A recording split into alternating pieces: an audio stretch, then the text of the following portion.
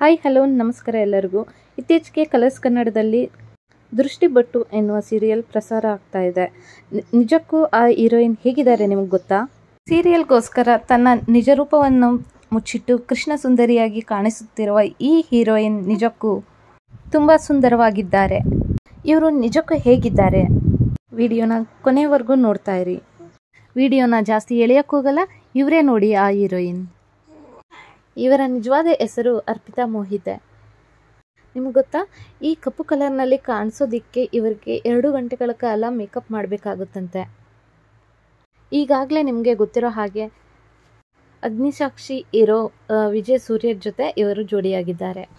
ಇವರಿಬ್ಬರಿಗೂ all the best ಹೇಳ್ತಾ ಈ ವಿಡಿಯೋನ ಮುಗಿಸ್ತಾ ಇದ್ದೀನಿ. Thank you